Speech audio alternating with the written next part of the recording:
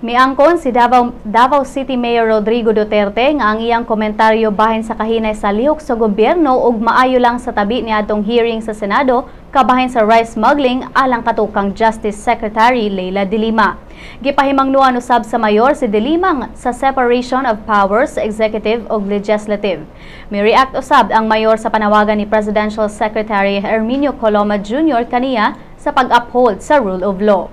Mato ni Duterte, to quote, Do not teach me, do not remind me of the rule of law. I'll do it my way kasi yung rule of law ninyo, walang kwenta yan.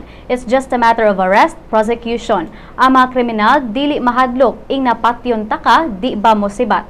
Ganun yan eh, ug mo balik, tiwasan gyud nimo alangan, ug di pod nimo tiwasan, mawad-an ug bilib ang tao sa imo.